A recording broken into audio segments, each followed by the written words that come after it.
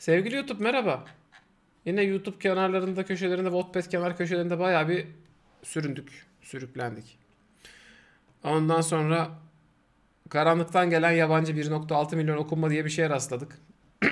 Hayırlısı bakalım. İnşallah aradığımız o tatlı çok utanıyoruz. Kapatamıyoruz da ama bir yandan da kötü kitap sayılacak kadar iyi değil. Ama iyi Wattpad sayılacak kadar kötü aralığını yakalamaya çalıştığımız bir başka videoya hoş geldiniz. Ee, karanlıktan gelen yabancı. Yasemin Abva yazmış. Diyor ki Aşk beni kendi karanlığında esir alırken tutku hiç bu kadar acı vermemişti. Onun gölgesinde susuzluğumu giderebilmiştim. İlk kitabım. Ona göre okuyun arkadaşlar ve zamanı gelince baştan yazılacak. İşte yani bir takım kelimeler yan yana gelmiş. Ee, bu güzel. Bu güzel. Bu bana umut veriyor. Birinci bölüm bu. Bakın birinci bölümün başlığında parantez içerisinde birinci bölüm bu yazıyor. Sonra da ya gelir ya da ölürsün diyor. Bence iyi bir yere iyi bir yere denk geldik ya. İlk kitabımdı. Eksik çok. Hikaye iyi. Ama yazımı amatörce. Bunu bilerek okuyun ve ileride yeniden yazılacak. Kitap tamamıyla değişecek. Karakterlerin tepkileri ve kitap gidişatı bile. Ha. Karakterlerin tepkileri ve kitap gidişatını baştan mı yazacaksın? Redcon gelecek ha. Serverları resetleyecekler. Neyse dur bakalım. Başlıyoruz. Spider-Man no, Spider-Man No Way Home. Neyse. Ya gelir ya da ölürsün. Sonrasında nokta ya da virgül yok. Böyle bir yazı var burada sadece. Sonra şöyle diyor. Karanlığın içinde süzülen her bir yağmur tanesini izlerken boşlukta buldum kendimi.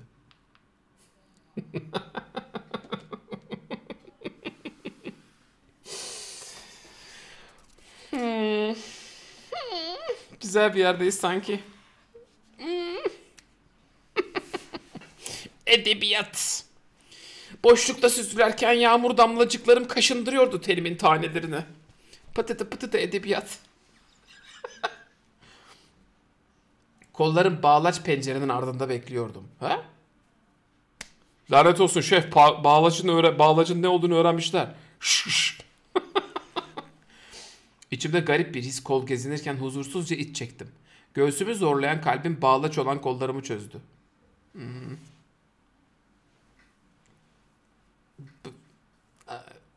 That's... Yani ne demek istediğini anlıyorum ama o kelime o değil. Neyse. Bir avucumu kaldırıp deli gibi atan bölgeye dayadım. Her şey çok garipti. Hakikaten şu an bence de her şey çok garip ve iyi gidiyoruz ha.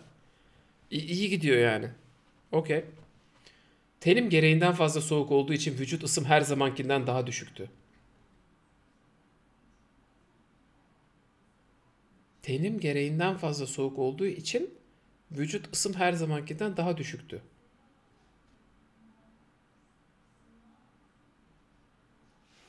Okey. Hadi bakalım. Yani şey yani ee, yazarın aklı normal çalışmıyor. Bence iyi bir noktadayız. Ne o? Hasta mı oldun yoksa? Kulaklarımı dolduran sese tepki verdim. Yüzümle birlikte bedenimi refakatçi arkadaşa çevirdim. Ben bilemiyorum. Sadece huzursuzum. Kaşlarını çatıp aramızdaki mesafeyi kapattı.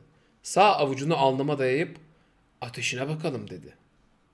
Ben iyiyim Suzan. Ha ben kaslı bir adam zannettim. Kaşlarını çatıp aradaki mesafeyi kapatınca. Ben iyiyim Suzan. Haklısın hiç ateşin yok. Yine de dikkat et. Dışarısı buz gibi. Gözlerimi devirip onu onayladım. Yes. Ağır adımlarla gözden kaybolduğunda kendime bir kahve aldım. Hani böyle anladınız mı? Ağır adımlarla gözden kayboluyor Suzan. Şöyle yani. Yapmak istiyorum bunu size.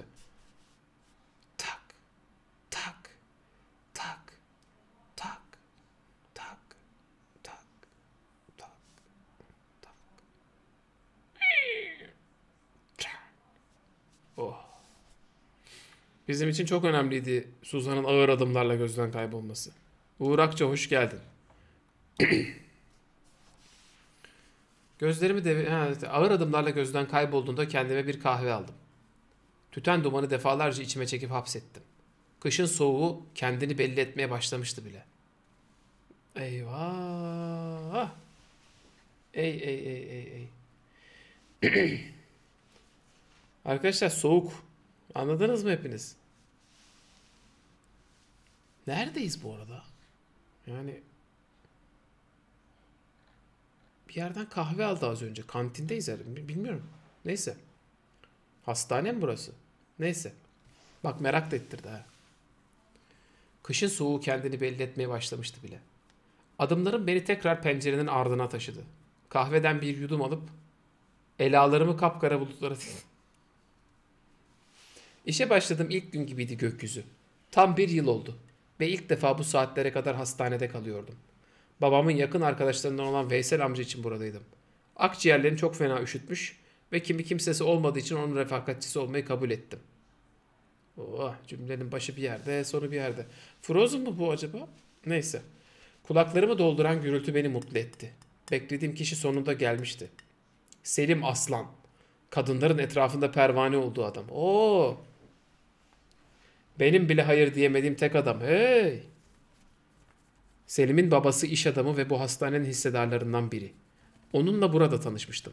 Haluk amca bir trafik kazası geçirmişti ve benim hastalarımdandı. Selim babasına aa kızımız doktor. Selim babasını arada bir ziyaret edip giderdi. Hastanedeki bütün kadınlara kur yapar, hiçbiriyle tam bir ilişki yaşamayan bir adamdı. Oh cümlenin başı bir yerde, sonu bir yerde. Çok güzel.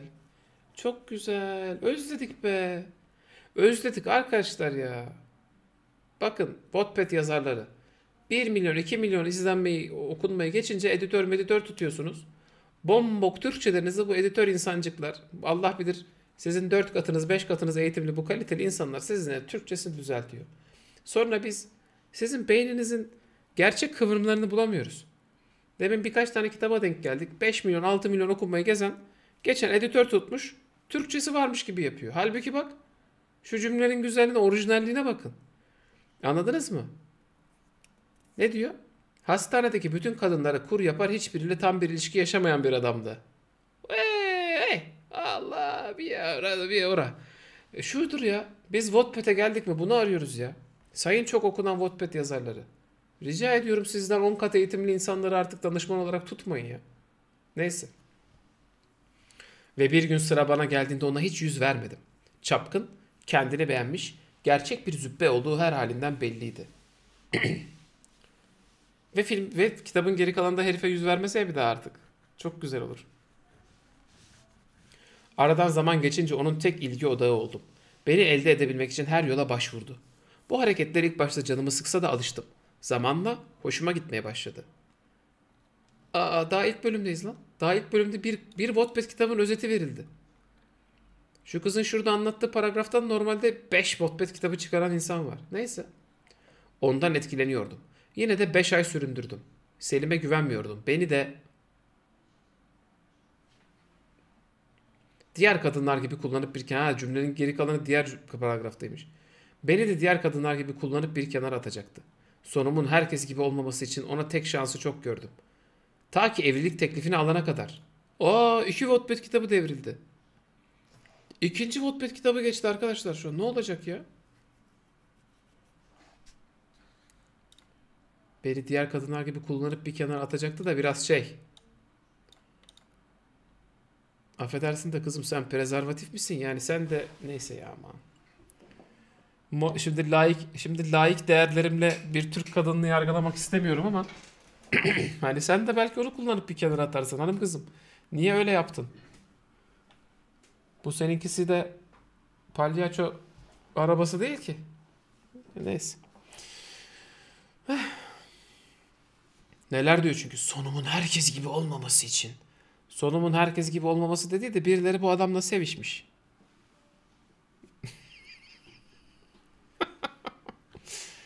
Neyse 5. ayda evlilik teklifi geliyor. Evet bu adımı ondan. Paragraf burada bitiyor. Bir sonraki paragraftan devam ediyoruz. Beklemiyordum. Çünkü çapkın olan insanlar kolay kolay evlenmezdi. Oo. Eyvah. Doktor kızım. Seni bazı sürprizler bekliyor. O dönemlerde her şey çok hızlı gelişmişti. Selim'e cevap vermeden yüzüğü parmağımdan geçirmişti bile. 5 dakika içinde evleneceğimizi bütün hastaneye duyurmuştu. Çılgının tekiydi. Eyvah. Her şey çok kötü gidiyor. Sevinci görülmeye değerdi doğrusu. Onu seçmekle paragrafın devamı yok. Doğru bir seçim yaptığımı düşünüyorum. Üstelik hiçbir kadın yüzüğe hayır demezdi ki. E, Selim'i gerçekten de çok sevmiştim. Babasının zengin olmasıyla ha kız, acaba bir gold digger'ın maceraları mı? Neyse. Babasının zengin olmasıyla ilgilenmedim. Bir sonraki paragrafa geçiyoruz. Hiçbir zaman. Veya yakışıklı oluşu ilgimi çekmemişti. Benim için bunların değeri yok. Hmm. Ben göğüslerde atan kalpleri seviyorum. Sevgiye inanıyorum. Hmm. Aa psikopat mafya geri dönmüş. Pardon. Şu Şurada kenara atalım. Yayın eviyle telif sürecimiz bitti arkadaşlar. Geri döndük falan diye müjdelerle gelmiş geri. Psikopat mafya. Orada bir kenara ayıralım.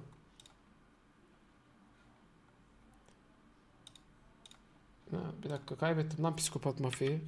Where are you now? Hah burada.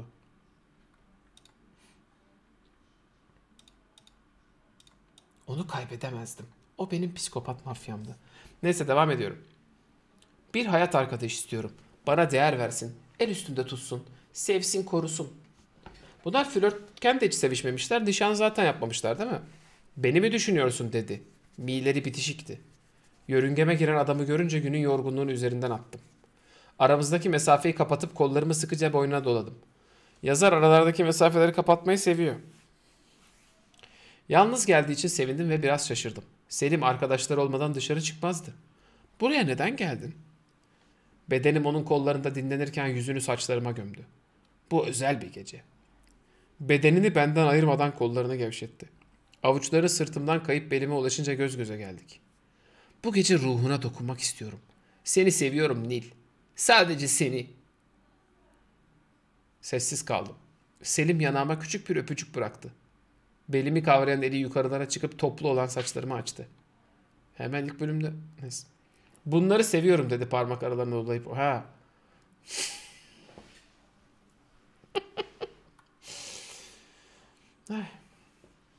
Bunları seviyorum dedi. Parmak aralarına dolayıp okşadı. Benim aklıma gelen şey yüzünden ben utandım ama sizlere seslendirmeyeceğim. Senin uzun siyah saçlarını çok seviyorum dedim biliyorsun değil mi? Korkudan zar zor yutkunabildim. Dudaklarımı aralayamadım. Ben de horniyim biraz bence. Parmak uçlarımın altında ezilen cüsseye karşılık vermedim. Onun aldığı nefesler enseme dolandığında irkildim. Korkum arttı. Tenime dokunacağını düşününce avuçlarımı ensesinden çekip göğsüne dayadım ve var gücümle ittim. Nasıl ev... Kocası... Evlilik... Neyse dur anlayacağız herhalde. Tenime dokunacağını düşününce avuçlarımı ensesinden çekip göğsüne dayadım ve var gücümle ittim. Beni rahatsız eden kalbim aşırı derecede hızlı atıyordu. Yaşamadığım duygular gün yüzüne çıkmak üzere. Korkuyorum. Avucum göğsümde dinlenirken Selim yavaş adımlarla üzerime doğru gelmeye başladı. Selim de Dark Souls boss'u gibi ha. Plin plin plon. Plin plin plin plin plon. Farkında olmadan geriye doğru adımlar atıyor. Çocukça tepkiler veriyordum. Aa kız Souls, Souls karakteri çıktı. Dur bu sahneyi bir de gözünüzde şöyle canlandırın.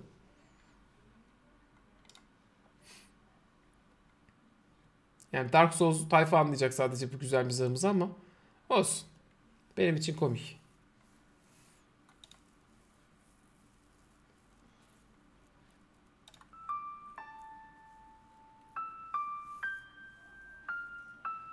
Anladınız mı hani? Selim kızın üstüne doğru geliyor. Kız böyle bir oraya yuvarlanıyor. Bir oraya yuvarlanıyor. Panik rol atıyor. Ya bunu göstermem lazım size ya. Dark Souls Boss Panik Roll.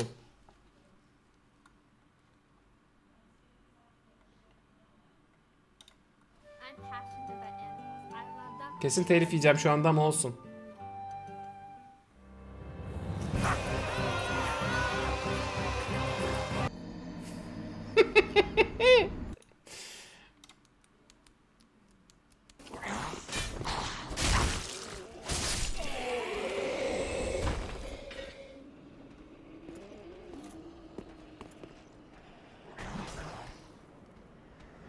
Hiç iyi bir örnek bulamadım ha.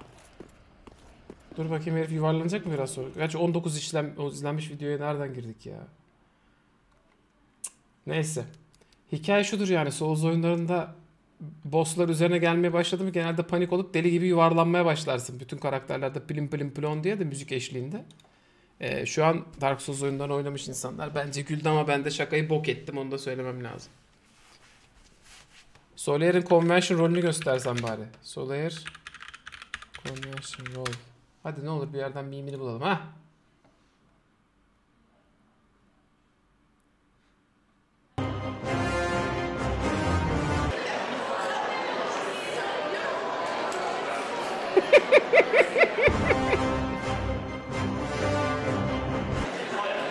Plin plin plon. Okey. Neyse. Çok Dark Souls bir sahne kusura bakmayın. Avucum göğsümde dinlenirken Selim yavaş adımlarla üzerime doğru gelmeye başladı. Farkında olmadan geriye doğru adımlar atıyor, çocukça tepkiler veriyordum. Nil, korkma benden. Onu duymadım. Geriye doğru atılan adımlarım bana ihanet etti. Sırtım duvarda buluştu bile. Ay ne panik olursun, rol da atamıyorsun o noktada. Sakin ol dedi. Sevdiğim adam aramızdaki mesafeyi kapattı. Eyvah mesafeler kapanıyor yine. Bana gereğinden fazla yakındı. Ani yaptığı bir saldırıyla staminam düşük olduğu için çok ciddi damage alabilirdim. Korkuyordum. Parmak uçları yanağımı okşadığında bütün dikkatimi eline verdim. Sadece bir kereliğine dudaklarına dokunmama izin ver. Zamanı geldi artık. Sana daha yakın olmak istiyorum. Dokunulmayı, hissedilmeyi istemez misin? Sabahlarıma sen renk kat. Bu gözler aralandığında ilk seni görsün sevgilim. Ay ben bir de aynısını Gwyn Cinderlord eşliğinde okuyacağım. Kimse kusura bakmasın. Kendi mizahıma kendim güleyim azıcık da. Heh, çal keke.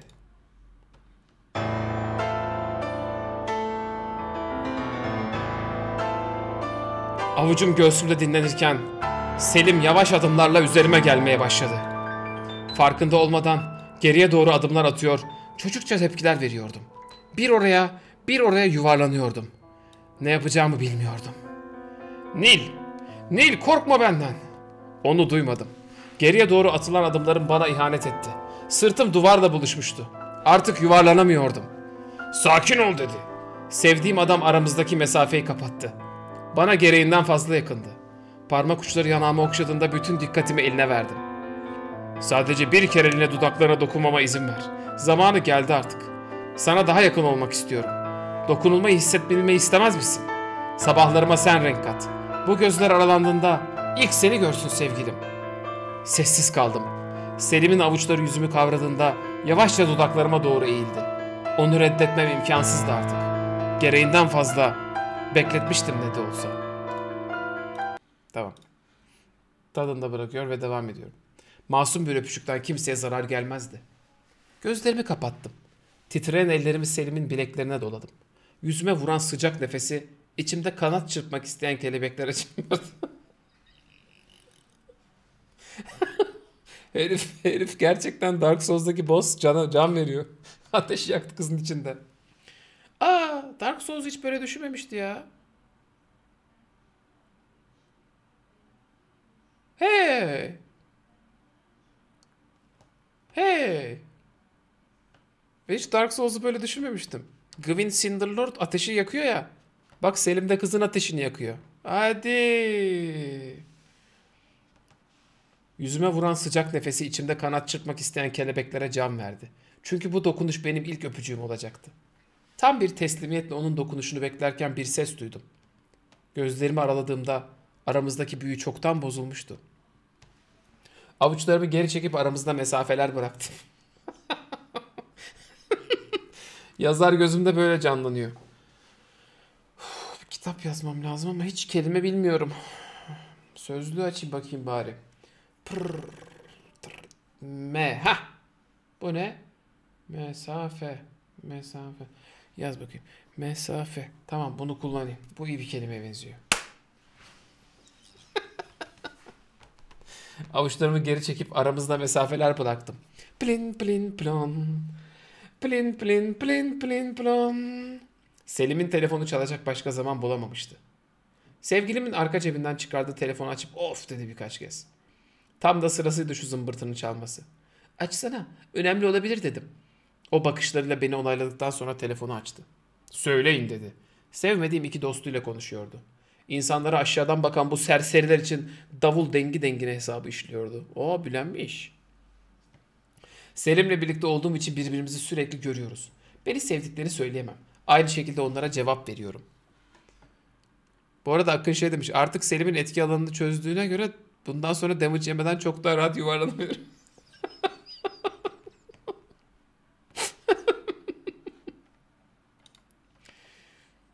Dostum tamam. Nişanlım elindeki telefonu kapattı. Kesin bara gelmelerini söylediler. İçmekten başka iş yaptıkları yoktu her ikisi. Her iki sinin de. İçinde olduğumuz atmosferden eser kalmamışken Selim etrafımda daire çizdi. Bu gerçekten bir Dark Souls fight'ı. Allah aşkına Dark Souls bilmeyen insanlar ne olursun gelsin şuraya baksın. Deminden beri tasvir ettiğim şeyi dinlediniz. Şu müziğini çaldım Gwyn Lord of Cinder fight'ını izletmem lazım size. Gerçekten kız Dark Souls boss'uyla flört anlatıyor ya. Kurban olayım buraya gelin izleyin ne olur ya. Bakın bu Dark Souls fight'ıdır ya. Bakın. Bak bak bak tuttu Selim kızı. Yanağında ateşler yandırdı şimdi. Selim ortadaki tamam. Bu da kız. Hayır Selim. Öpüşmek istemiyorum seninle. Öpüşeceğiz. Hayır. istemiyorum. Gel kızım nişanlınım ben senin. Artık ne olacak? İstemiyorum. Hayır. Şuradan soda içeyim. plin plin plon.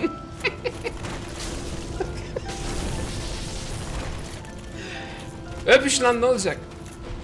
Bak bak bak Selim bir şey yapıyor. Aha. Kızım öpüşelim diyorum. Hayır istemiyorum. Eyvah. Bu da hiç yuvarlanamadı be. Bak bak nasıl tutmaya çalışıyor. Öpeceğim diyorum anlasa. Bak bak bak kız sıkıştı köşeye şimdi yuvarlanamayacak. Ay. Ulan ne estus içtim be.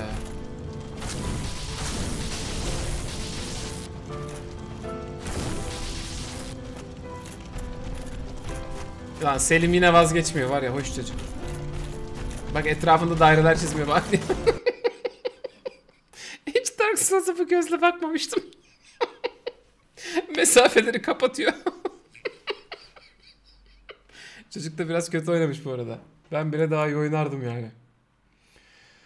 Ay. Neyse. Devam edelim. İçinde olduğumuz atmosferden eser kalmamışken Selim etrafında daire çizdi. Sırtımı göğsüne dayayıp kollarını belimde birleştirdi.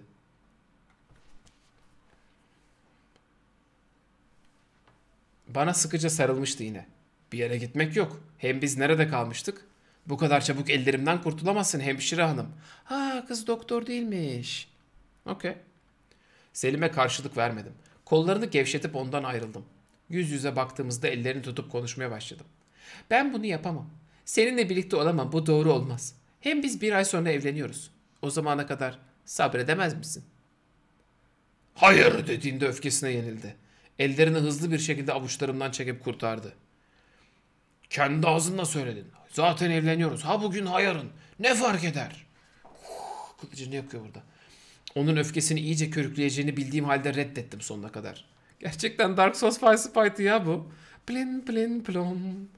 Ben seninle birlikte olamam. Kendimi hazır hissetmiyorum. Bakışlarımı Selim'den kaçırdığımda öfke krizlere tutuldu.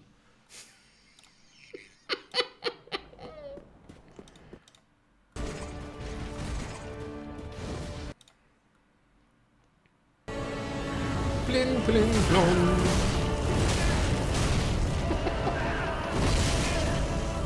Öf Selim'e bak.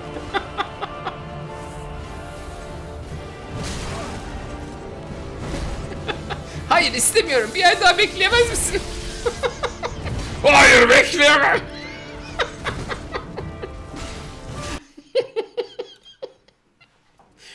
Bakışlarımı Selim'den kaçırdığımda öfke krizlerine tutuldu. Hastaneye sığamıyor, yerinde duramıyordu. Bu tepkilere yabancıydım. Karşımda duran adam sevdiğim kişi değildi. O benim kalbimle ilgilenmeliydi. Selim bana dokunmak için son adımını attığında geri çekildim. Tamam diye bağırdı bana. Ha pardon. Tamam diye bağırdı bana. Sana neden bir metreden fazla yaklaşamıyorum? Şimdiye kadar ciddi bir ilişkin olmadı. Bunu da kabul ediyorum. Ama biz bir yıla yakın birlikteyiz. Wow. Sana bir kere bile dokunmama izin vermedin. Neyim ben? Cani miyim? Hayır dedim kısık bir sesle. O zaman bana güvenmiyorsun ve beni istemiyorsan açık açık söyle. Bu ilişkiyi burada bitirelim. Çocukça tavırların beni gerçekten çok sıkmaya başladı.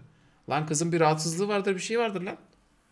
Yani bir sene sevgili olup da hiç dokunmamaktan kastettiği seks anlamında mı yoksa öpüş kokuş mu? Neyse. Benden uzaklaşan adımları durdurmadım. Ben bu adamın gölgesine sığındım. Onun tek terdi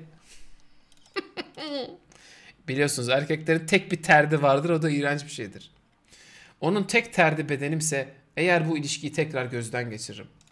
Burada da içi yanan bir adamın Aa içi yanan bir adamın haykırışı da Dark Souls bosslarıyla aynı kategoride olduğunu fark etmiş miydiniz?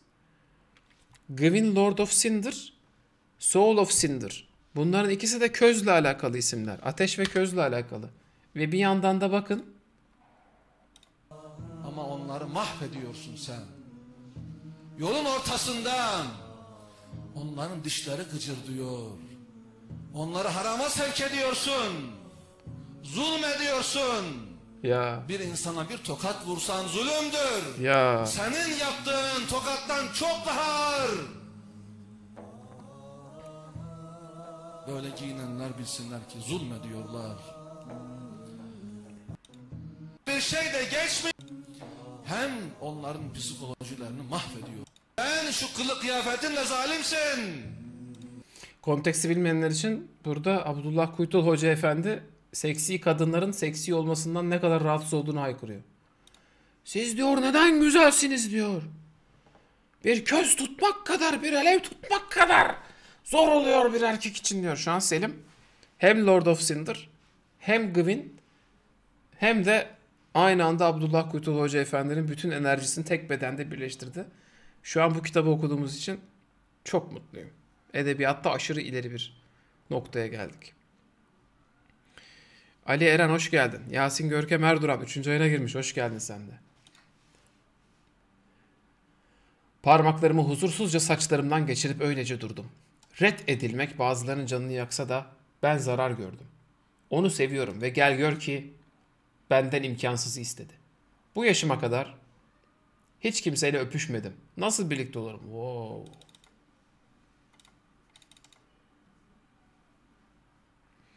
Kalbim acıyor. Sebebini iyi biliyorum. Abi 25 yıldır kimseyle öpüşmemekten de kalbin acıyor olabilir ama neyse.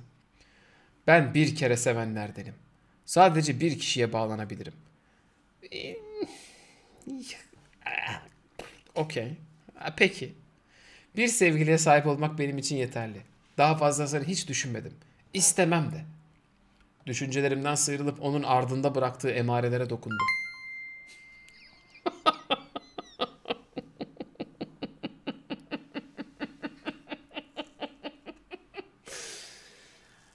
Ay. Düşüncelerimden sıyrılıp onun ardında bıraktığı emarelere dokundum. Yanında getirdiği su damlaları kalmıştı elimde. Ne demek o be? Onun kokusu saklı kalmış yağmur zerrelerinde. Ah, uydur uydur yaz ne güzel edebiyatı be. en sevdiğim kitap Kürk Mantolu Madonna ve Türk Kahvesi. İçimi kemiren özlemine doyasıya sarılamadan çekip gitti. Ah be.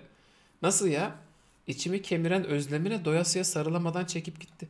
Ulan sen herife sarılmıyorsun diye herif zaten psikopat katil kiralık mafyaya dönüştü. Bir Sarılaydın çocuğa. Neyse. Olmak istediğin kişi ol çocuğum. Babanın sözünü anımsadım bir an. Ben değişemem her zaman buydum. Dudaklarım yukarı kıvrıldığında eskileri anımsadım yine. Dudakları Dudakları yukarı kıvrılmak ne ya? Şu mu?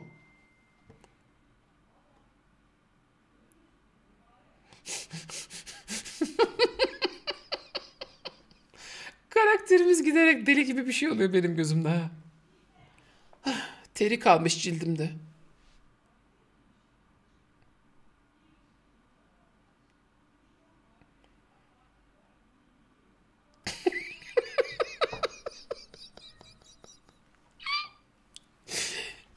Deli gibi bir şey bu. Ne o? Erkek arkadaşın gitti diye aklını kaçırmadın değil mi? Bakışlarımı son birkaç gündür tanıdığım Suzan'ın gözlerine diktim. Benim yaşlarımda kilolu bir kızdı. Kısa saçları ona farklı bir hava katarken kah külleri hoşuma gidiyordu. kah külleri ayrı yazan da ilk kez görüyorum.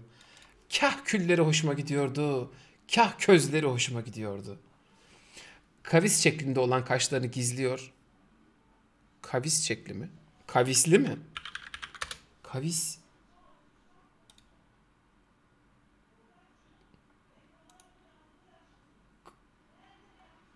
Kavis. Yani hanımefendi bir yerde yanılıyorsunuz. Kavis. Kavis ne demek? Bir eğrinin sınırlı bir kısmı eğmeç. Allah Allah. Neyse. Kavis şeklinde olan kaşlarını gizliyor ve küçük gözlerinde siyah tonlar her daim hakim oluyordu. Ne diyor ya?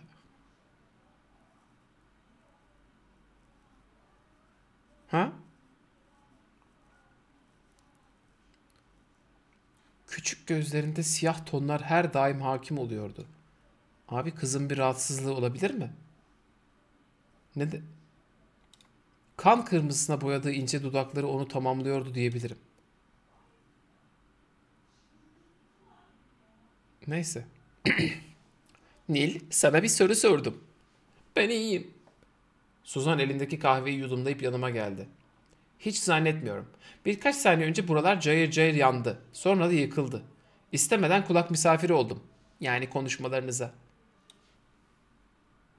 Neye kulak misafiri olabilirsin ki zaten? Banka ekstrelerine mi? SMS mesajlarına mı? Sarılmalarına mı kulak misafiri olacaktın? Tabii ki de konuşmalarına kulak misafiri olacaktın. Geri zekalı mısın sen? Ha. Ay. Oh. Sence onu red etmem yanlış mıydı? Kendi Türkçemden artık şüphe ediyorum. Red. Red diye bir şey yok. Red değil mi ya o? Red. Red yanlış kullanım, red doğru kullanım. Ben göt oldum.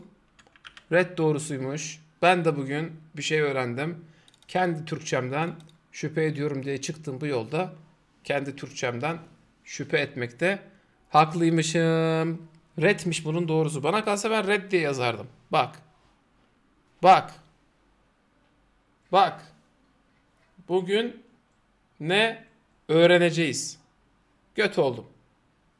Ben de bunu kabul ederim. Ben bugün bir şeyler öğrendim yani. Onu söyleyeyim yani.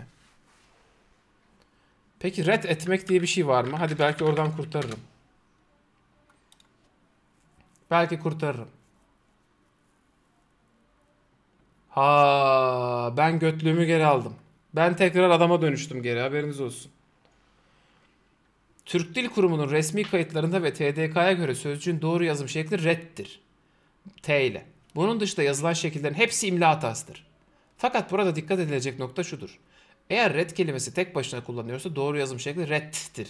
Ancak red sözcüğü etmek sözcüğüyle birleşirse Türkçe imla kurallarına göre kelimenin sonundaki T harfi D harfi olarak yazılmalıdır. Bu durumda red etmek değil, bu kurallar uygulanarak reddetmek şeklinde yazılır. Tamam. İyi. Bugün ben hiçbir şey öğrenmedim. Ben zaten haklıymışım. Ben kazandım. Götlüğüm geri geldi. Geri gitti. Haydi. Neyse. Sence onu red etmem yanlış mıydı? Tebessüm etti Suzan. Çok soğuktu ama. Ona hak ettiğini verdin. Üzülme sakın. Şimdiye kadar bekledi. Bir ay daha bekleyebilir. Sen boş ver bunları. Neden tebessüm ediyordun? Açık olan saçlarımı topladığımda, hey Fatih'in şarabını da, Fatih'in yarım şarabını da unutmadı ha. Açık olan saçlarımı topladığımda, eskiler yüzünden dedim. Lise yıllarım geldi aklıma. Çok çalışkan bir öğrenciydim. Gözlerim derslerden başka kimseyi göremez olmuştu. Erkek gibi giyinen, takılan, bakımsız bir kızdım. Iy. Yine de bu halim okulun en yakışıklı öğrencisinin hoşuna gitmişti. Çünkü salak yani bakımsız yani Oy, yani böyle göğsümü yırtarak haykırmak istediğim bazı konular var bu kıza. Bu yazar kıza. Bu yazar kızın böyle ellerine tutup gözlerine bakmak istiyorum ya. Diyor demek istiyorum ki kızım. Çocuğum. Yavrum. Bakımsız olabilirsin. Erkek gibi giyinip erkek gibi takılabilirsin. Ama affedersin de. Yani biz erkekler de o kadar mal değiliz ha. Malın iyisinden anlarız yani. Kimisi götüne bakmıştır beğenmiştir. Kimisi gözüne bakmıştır beğenmiştir. Bakımsız bir kızdım. Ay. Neyse. Erkek gibi giyiniyor deyince hani kim bilir neyi söylüyor. Hani ben yani topuklu ayakkabı giymem, etek giymem ne bileyim. E biz yine yani neyse. Duşunu alıyordur inşallah hani.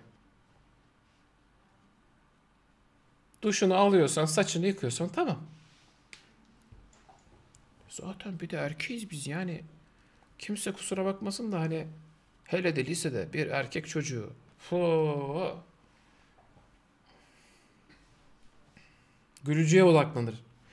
Yine de bu halim okulun en yakışıklı öğrencisinin hoşuna gitmişti. O da çapkının tekiydi. Bu oda tabii ki bileşik.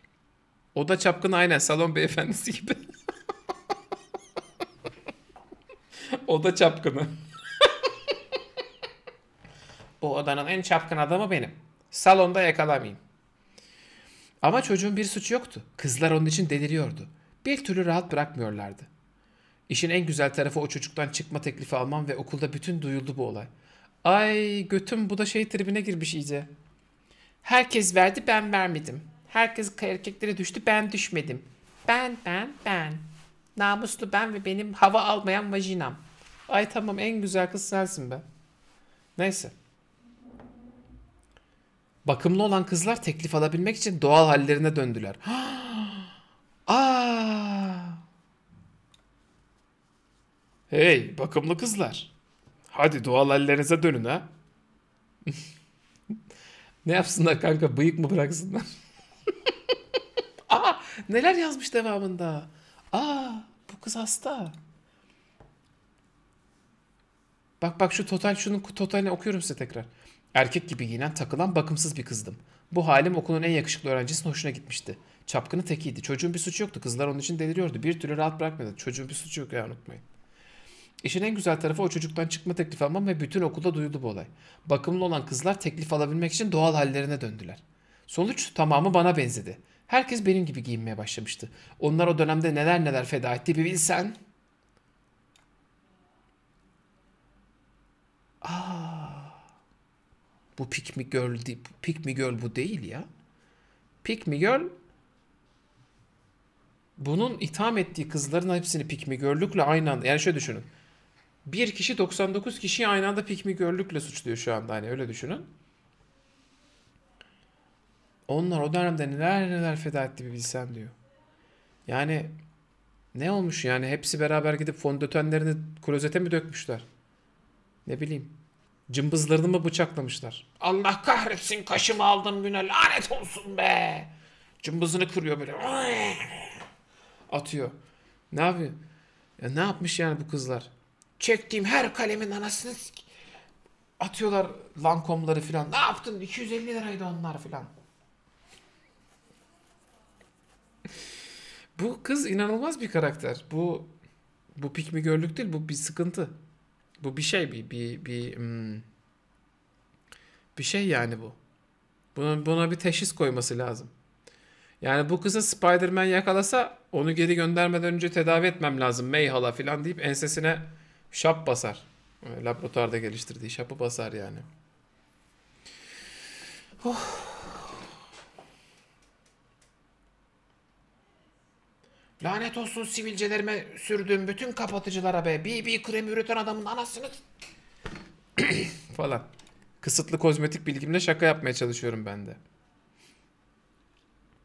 Suzan elindeki kupa bardağını. Vay aşağılık kadınlar nasıl güzel gözükmeye çalışırsınız kendinize göre.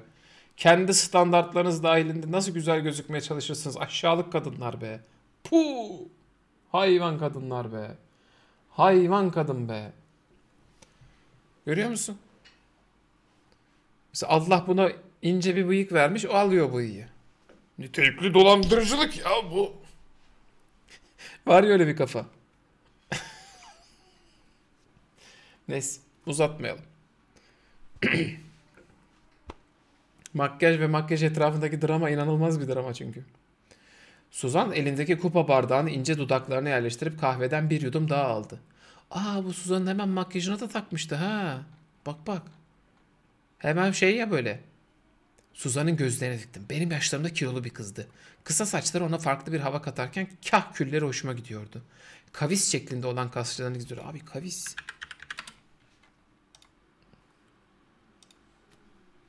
Kavis.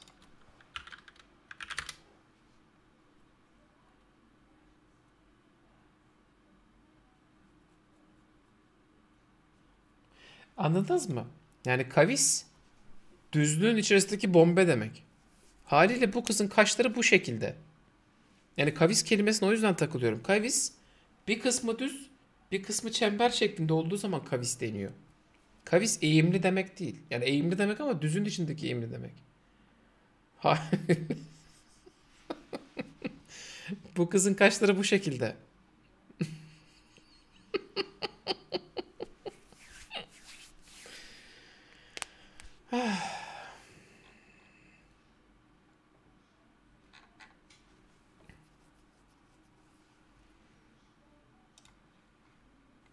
kan kırmızısına boyadığı ince dudakları onu tamamlıyordu diyebilirim.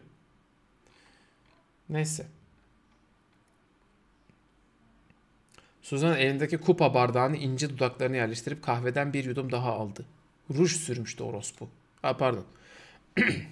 Peki sen ne yaptın? Teklifini kabul ettin mi? Hayır dedim tok bir sesle. Umurumda değildi. Sadece hemşire olmak istiyordum. Kendi ayaklarım üzerinde durmayı, hayatımı kurtarmak istiyordum. Aa, Türkçem de iyi değildi ama sevişmemeyi iyi bilirdim. Bu nedenle gelen teklifleri reddettim. Bana gıpta eder gibi baktı. Böyle oldu değil mi? Helal olsun be. İşte bir kadın ya bu. Bu bir kadın kadın. Bu bir kadın ya. Bana gıpta eder gibi baktı. Onun geçmişinde ne saklı bilmiyorum. Ya hep o orospu seks yaptığı için seni şu an nasıl kıskanıyor biliyor musun? Böyle oluyor. Ah be. Keşke kaşlarımı almasaydım. Keşke vajinamdaki tüylerin bir tanesini bile almasaydım. Keşke bütün erkekleri reddetseydim. Allah benim belamı versin. Boğazını kesiyor kalemle. Ay. Plin plin plon. Plin plin plin plin plon. Peki. Peki üniversite yıllarında nasıldın? Şu haline bakınca değiştiğini görüyorum. Herkes hayran bizim kıza. Haklısın. Kendime biraz çeki düzen verdim. Doğal bir güzelliğim vardı. Çalışkandım. Çoğu kişi elimi tutmak istese de ben istemedim. Fazla ilgiden bıkmış. Usanmıştım. Hareket ettiğimde bedenimi karanlığa teslim ettim yine. Pencerenin ardına geçtim.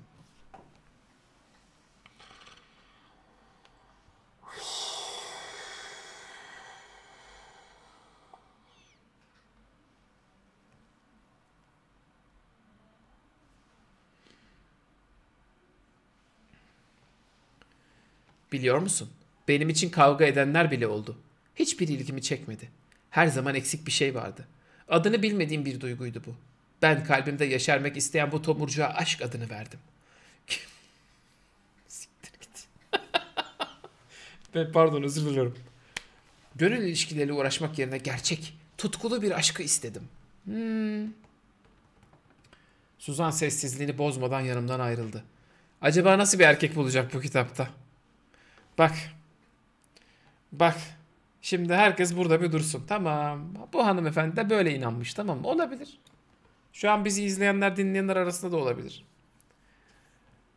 Belki de tek büyük bir aşk istiyorsun hayatta.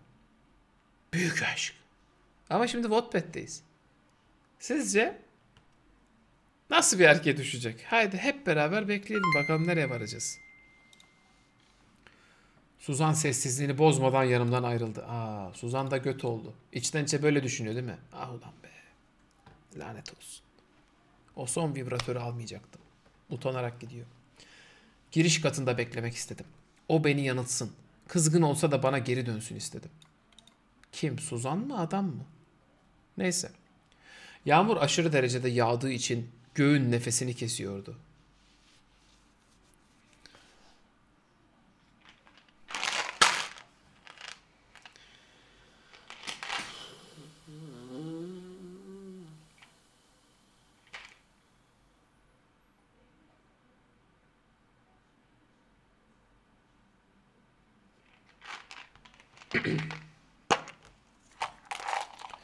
İstanbul'un soğuğu o kadar sertti ki yağmur yağmasına rağmen soğuk hava kendinden taviz vermiyordu. Zamanın ardından koştum. Saniyenin dakikanın ardından sürüklendiği saat dilimi gecenin birini...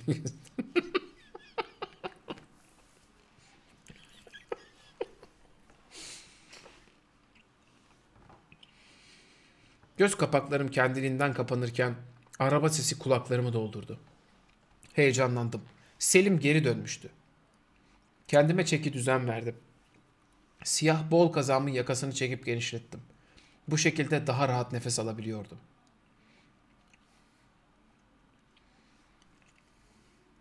Pardon. İki saniye ağzıma naneli bir şey koymam lazımdı. Bir havam değsin bir kendime geleyim diye. Çıkış kapısına doğru adımlar attım. Onun beni anlayacağını biliyordum. Sevinç rüzgarları çehreme yansıdı. Tebessüm ediyordum.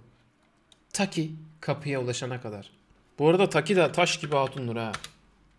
Tanımayan herkese Taki'yi de bugün tanıtmak isterim. O değil lan. Oh. Ha ben Mai ile Taki'yi karıştırmışım. Taki Koftaki değil. Taki şeydeki. Soul Calibur'daki. Bugün hem Wattpad'de öğreniyor hem de ben de size oyun kültüründen çok önemli şahıslar tanıtıyorum. Taki de benim gençliğimin sert mafyasıdır. Neler sağ olsun bizi duvarlara yasladı Taki. Tebessüm ediyordum. Taki kapıya ulaşana kadar. Kapkara bulutlar gökyüzüne bir takke gibi sararken siyah arabadan bir yabancı indi. Zifir karasında onun silüetini fark edemedim. Selim olmadığı kesindi. Bedenimi saran ürperti yüzünden kollarımı bağlaç kurdum. Yağmur taneleri geceye meydan okurcasına geri göğü inletirken o bana doğru gelmeye başladı. Heybetli yapısı soğuktan etkilenmemiş gibi dimdikti. Hayda Havel geliyor. Şeydir bu şey. Dark Souls Havel. Dur. Bak bütün kitap Dark Souls'a döndü. Bu şimdi Dark Souls Havel. Havel the Rock. Bakın bu. Bunu da bir göstermiş olalım size. Bu bütün heybetiyle asla etkilenmez yağmurdan falan. Doğru bir betimleme yani. Tanıdım bu Havel. İşte bu. Büyük Şövalye Havel. Ejderha katili. Geliyor. Plin plin plon. Geliyor bakalım nasıl bir kombat çıkacak şimdi heyecanlıyım. Yuvarlan kız. Heybetli yapısıyla soğuktan etkilenmemiş gibi dimdikti. Geniş omuzlarına ince beli eşlik ediyordu. Ha hayvanın o kadar ince değil beli. Kusursuz bir yapı diyebilirdim onun için. Üstsüz mü çocuk? Aramızdaki mesafeleri yok eden adam geldik yine. Yine mesafeleri yok ediyoruz ha. Aramızdaki mesafeleri yok eden adam telaşlı görünüyordu. Kusursuz yüz hatlarını tamamıyla görebiliyordum artık. Sert bir yüzü vardı. İnsanı korkutacak düzeydeydi. Korkmadım desem yalan olur. Tüylerim diken diken oldu. Onun benim için attığı her adımda biraz daha etkilendim tuhaf enerjisinden. Etrafa göz gezdiren siyahi irilerine baktım.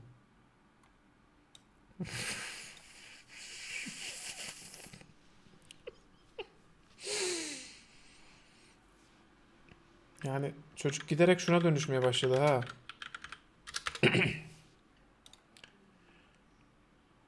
Farkında mısınız? Yani bu sefer bir uzaylı saldırısında olabilir ha.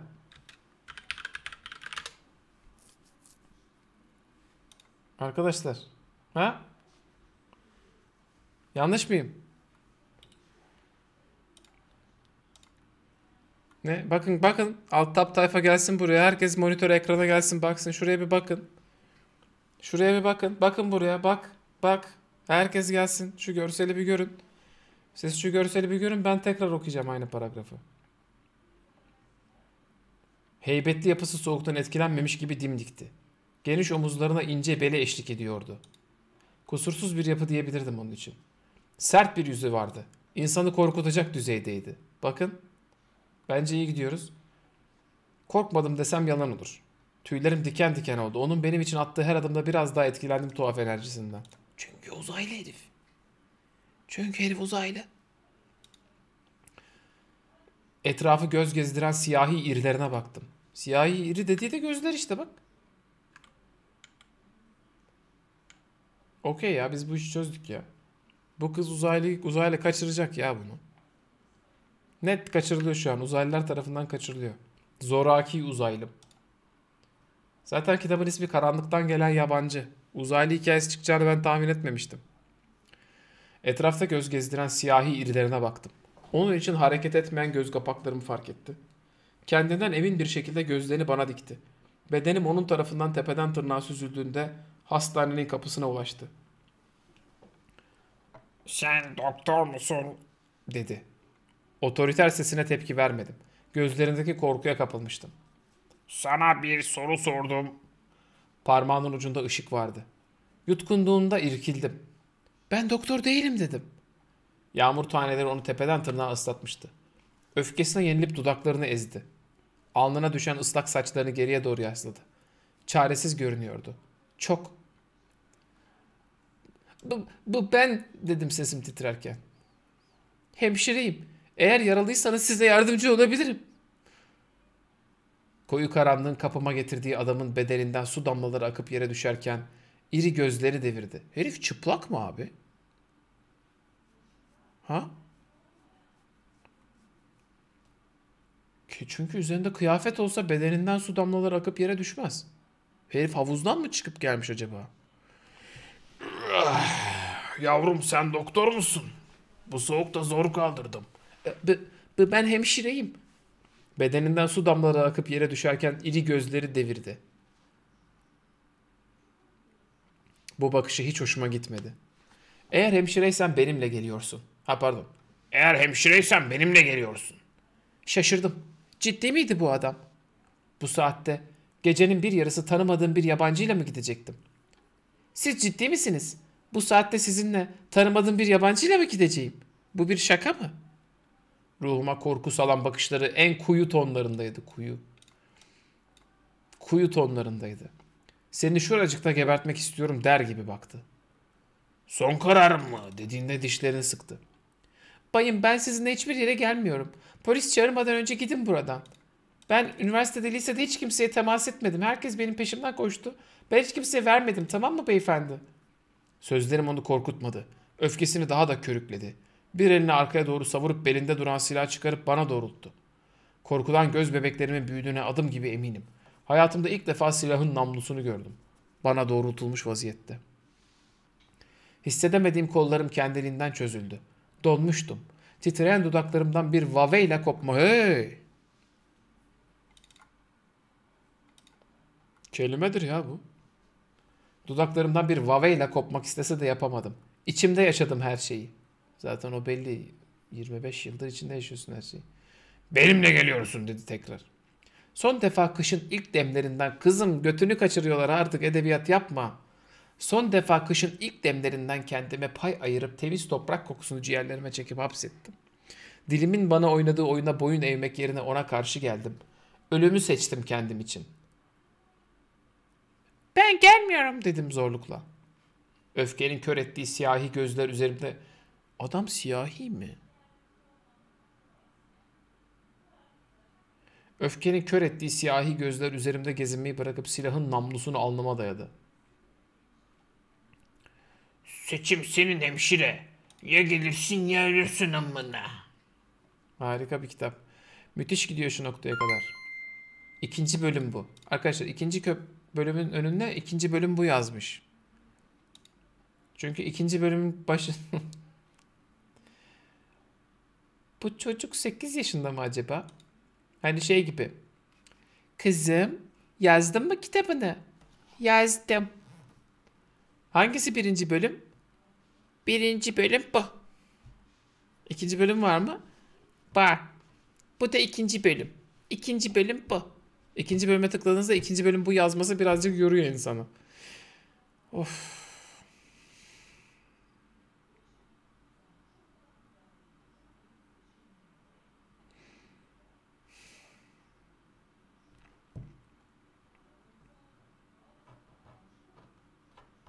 İnanılmaz bir yere denk geldik. Çok keyif alıyorum.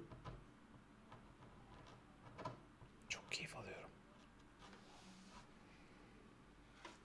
CS merhaba. Bu ne ben ortadan girdim anlayamadım. Haydar Dümen'in sitesi mi?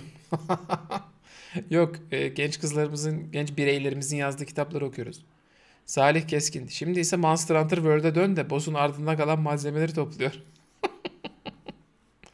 Ostos ama 100 yıldız göndermiş sağ olsun. Celladın ölüm cezası. İkinci bölümden sonra bir bölümde ara veririm ama daha sıkılana kadar ben bunu okumaya devam edeceğim gibi. Çünkü şu an her şey çok güzel. Her şey o kadar kötü ki her şey çok güzel. Nefesimin kesildiği zaman diliminde kayboldum. Alnımda duran soğuk metal beni tir tir titretiyordu. Böyle bir şey ilk defa başıma geliyordu. Şaşkınlıktan ve korkudan dudaklarım aralık kalmıştı. Tanımadığım bir adam tarafından zorla alıkoyulmak üzereydim. Bir daha tekrar etmeyeceğim dedi. Öfkesinden hiçbir şey kaybetmemişti. Sana diyorum, gebermek mi istiyorsun? Bana bağırdığı için sesli şekilde irkildim. Kendime gelemediğim için büyüyen gözlerimi hiç devirmedim. Hey! Hey! Arkadaşlar. Arkadaşlar gözlerini devirme... Farkında mısınız? İlk kez bir Wattpad yazarı gözleri devirmeyi düşündü. Fakat gözleri devirmemeyi seçti. Bakın. Bu ilk mermidir.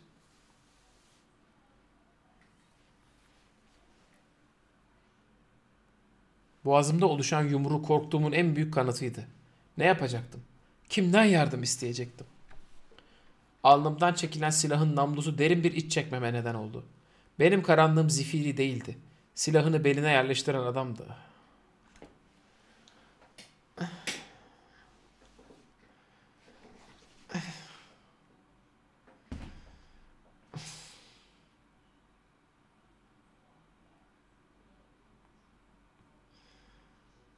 Bu arada chatte yazılan mizaha çok güldüm. Gözlerini devirme şansı vardı ve yapmadı. Gerçekten evriliyorlar patron. Patron evriliyorlar. Havalandırmadalar.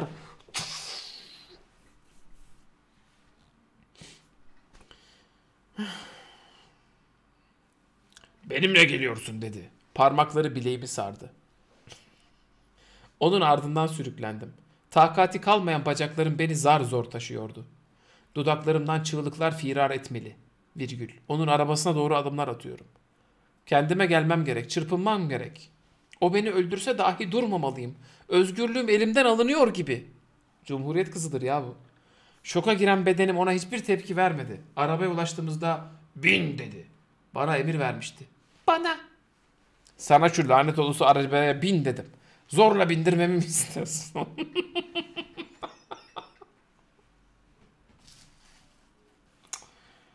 well. Sanki zorla bindirmeni istiyor gibi. Yağmur taneleri bedenimi ıslatırken bileğimi kendime doğru çekip koşmaya başladım. Keşke sen de çıplak olmasa herkes çıplak ha. Sevincim yüzümde soğurken sadece birkaç adım atabilmiştim. Sevincim yüzümde soğurken. Ne diyorsun? Bedenim hızlı bir şekilde geriye doğru çekildiği gibi sertçe arabaya dayandı. Oo geldi. Geldik geldik. Beni öfkelendirmezsen iyi olur dedi. Avucu bileğimi sıkıca kavramıştı. Herif de League of Legends karakteri gibi bilek kavrama hareketi var sürekli onu spamliyor.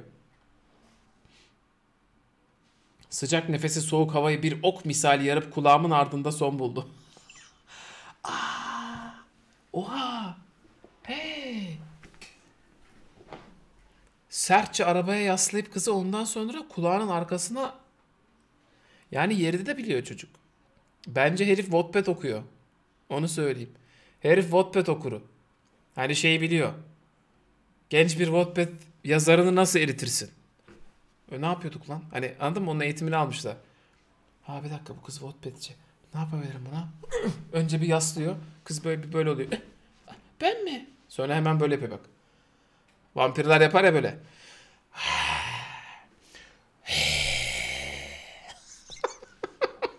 Kız da böyle oluyor hemen.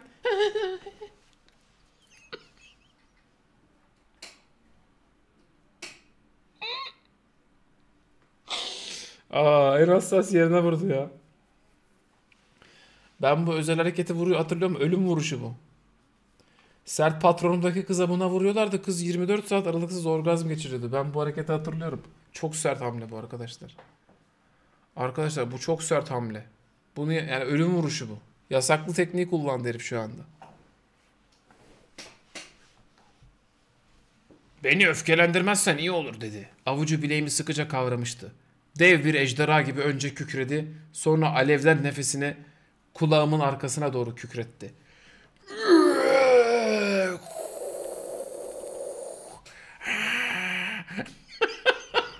Otomatikman kölesi oluyor burada.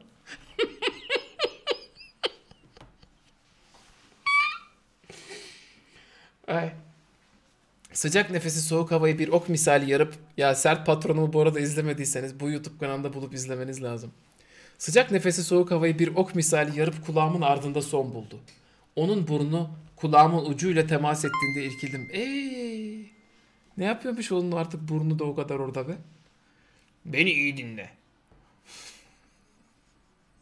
Ay, Çok çirkin. Yasin bakayım eyvallah. Ama artık buradayız yani onlara bakarım. Beni iyi dinle. Sana acımam şuracıkta öldürürüm. Şimdi dediğimi yap. Bana zorluk çıkarmadan bin şu arabaya. Başımı sağa sola doğru hareket ettirip onu red ettim. Pes etmedi. Bedenimi arabadan ayırıp arka kapıyı açtı. Bir de arka kapıya yasladı beni. Ay pardon. Bileğimdeki sıcaklığı son bulurken zayıf bedenim içeriye doğru itildi. Ona direnemedim. Beni zorla arka koltuğa bindirip kapıyı kapattı. Bu bölümde bir zorla sayacı koymamız lazım gerçekten. Kendimi toparlayana kadar o sürücü koltuğuna geçti. Kapıları üzerimize kilitlediğinde avuçlarımı sert bir şekilde cama vurdum. Avazım çıktığı kadar bağırsam da nafileydi. E kızım sen bir bağır bakalım. Belki nafile burada da kuş gibi gidilmez ki. Duymak istemediğim ses kulaklarımı doldurdu. Bir de kulaklarımı doldurdu sayacımız lazım. Ve ben pes etmedim. Delirmiş gibi kapıları zorlamaya başladım. Bana yardım edin dedim kısık bir sesle. Yağmurdan arda kalanı tenimden süzülüp yere düştü.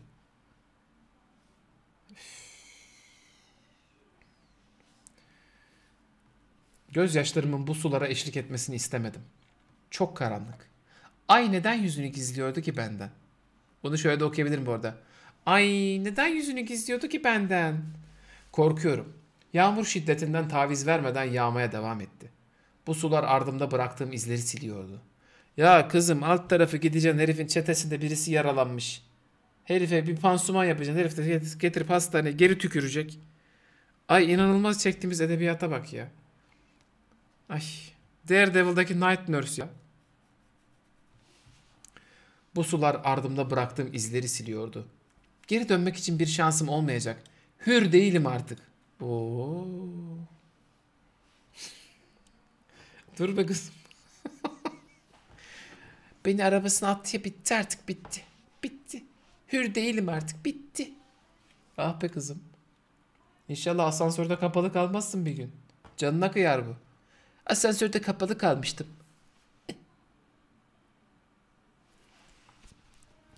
Pencereden ayrılmazken ormanlık alana girdiğimizi fark ettim. Şehirden çok uzaklaştık. İyice korkmaya başladım. Kalbimin sesi uzaktan duyuluyordu. Çünkü gecenin bir yarısı yabancı bir adamla birlikte korkutucu bir ormanda yalnızdım. Salak farkındayız bunun. Teşekkürler açıkladığın için. Kalbimin sesi uzaktan duyuluyordu diyor. Allah Allah ya. Niye ya? Titreyen ellerimi gizledim ondan. Dolan gözyaşlarımın, dolan gözlerimin yaş dökmesi beni zayıf kılacaktı. Bu siyahi gözlerde korkak olarak görünmek istemiyorum. Çaba sarf etmeliyim ona meydan okuyabileceğimi düşündüğüm için beni nereye götürüyorsun dedim. Adam sessizliğini korudu. Bir gölgeden farksız değildi. Yemin ederim adam siyahi. Vallahi adam siyahi. Zenci adam ya. Vallahi adam zenci artık. Sen bunu bize itiraf et ya. Bu kadar siyah siyahi siyahi karanlık karanlık siyahi siyahi. E tamam da sen bu adamın ismini koy ya. Tyrone'dur ya bu. Ya da işte. Neyse. Kat ettiğimiz yolu akıp giden zamanla kıyasladım. Biraz daha toparlanmıştım. Öfke denilen duyguyu tattığım saniyeler içinde tırnaklarımı avuçlarıma geçirip sıktım. Bu kadarı fazlaydı. Yeter artık. Bana cevap ver. Senin bu yaptığına adam kaçırmak derler. Ay. Uy. Uş. Genç adam bana dikiz aynasından bakıp sesini kes dedi. Bana doğru dürüst cevap ver o zaman. Cehennemin dibine dedi. Çok öfkeliydi. Aynı tonda cevap verdim. Benim cehenneme ihtiyacım yok. Sen tam bir cehennemsin. Despotsun. Araba bir anda durunca, bir anda bu arada Miranda gibi hani isim. Araba bir anda durunca bedenim öne doğru savruldu. Ve o bana dönüp öfkesini üzerime kustu. Bana bak, burada soruları ben sorarım. Bir daha sakın sesini yükselterek konuşma. Ne yaparsın yükseltirsem diye çıkıştım ona. Aldığım cevap gecikmedi, lafı ağzıma tıkadı. Bir daha dene bakalım o zaman, görürsün kim olduğumu. Vay ne, ne derin sohbetler ediliyor ya. Sessiz kaldım. Üzerindeki bakışları def etmek istedim. Arabadan in. Neden dedim sakince. Seni zorla çıkarırım. Bunu istemezsin değil mi? Yutkundum. Elimi huzursuzca enseme doladım. O kapısını aralayıp arabadan ayrıldı. Çizdiği dairenin sonu beni bulduğunda kapımı açtı. Bedenimi geri çektiğimde eğilip kolumu kavradı. Aa bak yine kolunu kavradı. Q'ya basıyor. Q spamliyor sürekli. Dokunma bana. Tepki vermedi. Beni arabadan zorla çıkartıp ardından sürüklemeye başladı. Ayaklarım çamur toplarken ormanda göz gezdirdim. Önümde duran malikaneyi fark ettiğimde ona daha fazla direndim. Kılıç malikanesi. Dudaklarımdan döküldü bu tabela. Görkemi beni etkilemişti. Hayatımda gördüğüm en büyük evdi. Ah. Çok affedersiniz ıslanmadıysa bu ben başka bir şey demiyorum. Yağmurdan yani çamurdan. Ağırlaşan ayakkabılarım bana hiç yardımcı olmazken onun ardından kapıya kadar sürüklendim. Art kelimesini de çok seviyor. Belki izleyicimizdir lan. Bileğimdeki sıcaklığı geri çekildiğinde ellerini giriş kapısının kanatlarına atıp kendine doğru çekti. Fırsattan istifade edip kaçmaya yeltendim. Yine mi dedi. O arkamdan bağırırken sessiz kaldım. Karanlığın içinde tek bir ışık yoktu bu gece. Ağaçların yaşlı köklerinden medet umdum. Vahşi hayvanlara yem olmayı tercih ettim. Ay kızım ne drama yaptın ya. İşte mafyadan bir adam yaralanmış sana pansuman yaptırıp seni gönderecekler geri. Ne anlatıyorsun ya? Ne anlatıyorsun? Ne anlatıyorsun? Ne dramaymış ya bu? Üf.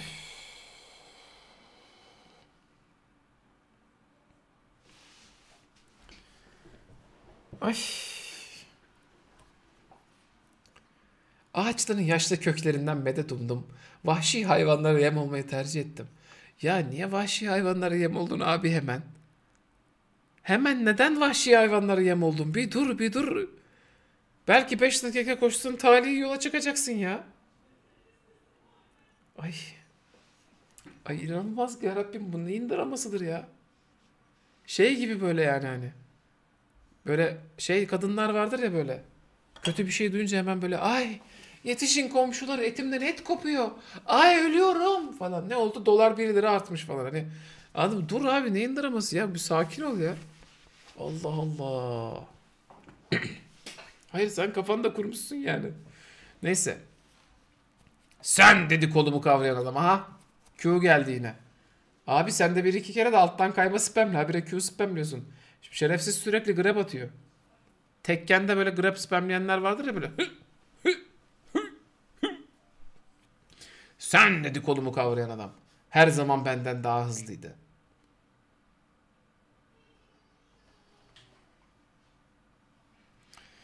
He. Benim ardımda bıraktığım izleri takip et. Sınırlarını zorluyorsun. Bakışlarımı sadece bir kere bu çehrede gezdirdim. Kara gözlerinde merhamet kırıntısını aradım. Bana dokunma ne olur. Sesim titredi. Yağmur üzerimizdeki kıyafetleri ıslatırken ''Aa kıyafet varmış üstlerinde hatırladık onu.'' Bir buçuğuncu bölümde kıyafetleri hatırladık. Sesim titredi. Yağmur üzerimizdeki kıyafetleri ıslatırken malikaneye doğru adımlar attık. Bu sefer açılmış olan kapıdan içeri girdik. Ardımdan kapanan kapıyı izledim. Çarpılma sesi korkularıma bir tanesini daha ekledi. Artık o ardın değil senin arkan orası. A- yani Oy, neyse. Malikanenin geniş salonunda onun istediği doğrultuda hareket ettim.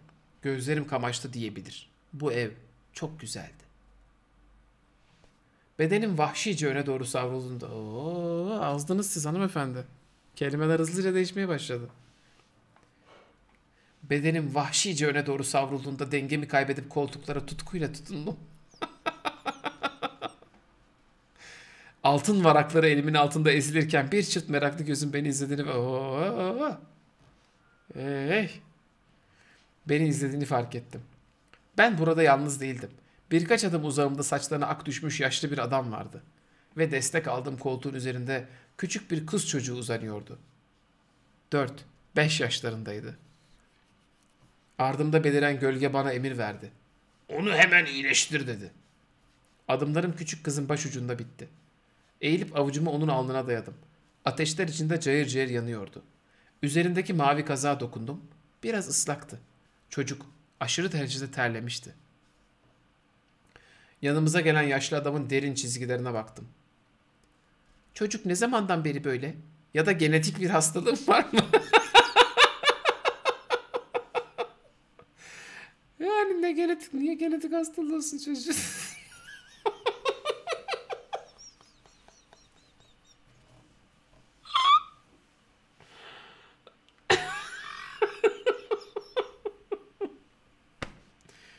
Abi çocuğun ne genetik hastalığı olsun oturuyor koltukta terlemiş çocuk. Genetik bir hastalığı var mı?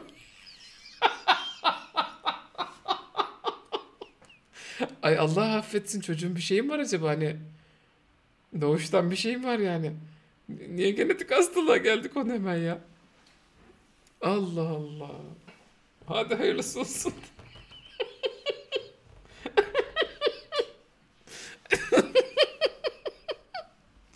Birden yüze çıktı direkt ya. Çocuk mutant mı? Abi çocuk neden sakat? Doğuştan. Babası dövmüş bunu. Neyse. Cevap çok güzel. Çocuk ne zamandan beri böyle? Ya da genetik bir hastalığı var mı? Bronşiti var kızım.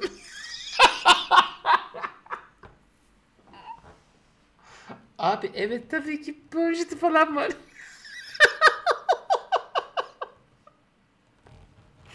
Ya niye kız hemen lupus yaptın ya? Ay. Ay. Ah.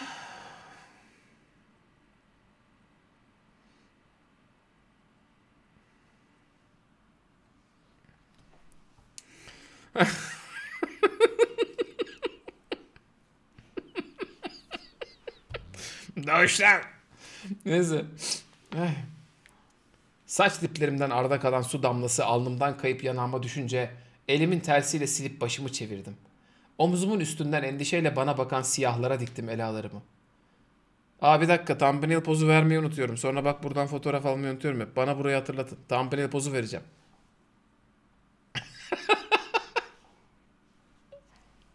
tamam. Endişeyle bana bakan siyahlara diktim elalarımı. Irkçılık ya bu. Çocuğun çok ateşi var. Grip olmuşa benziyor. Bronşiti de üstüne eklenince iyice kötüleşmiş. Onu hemen hastaneye götürmeliyiz. Adamın yatışan öfkesinden cesaret aldım. Gitmesi gerek dedim. Olmaz. Burada tedavi et. Hemşire değil misin? Burada ilaç yok. Hiçbir şey yapamam. Bir majizik vereceksin ya kıza. O sessiz kalırken aklımdan geçen şeyi yaptım. Eğilip çocuğu kucağıma aldım. Onun ağırlığını yükleneceğim sırada ensemde soğuk metali hissettim. O silahın namlusunu ense köküme dayamıştı bile. Onu burada tedavi edeceksin. Eğer red edersen seni de diğerlerinin yanına yollarım. Ellerimi çocuktan çektim. Bedenimi doğrulttuğumda silahın namlusu ensemden çekildi. Sanırım başka çarem kalmadı. Çocuğu burada tedavi edecektim.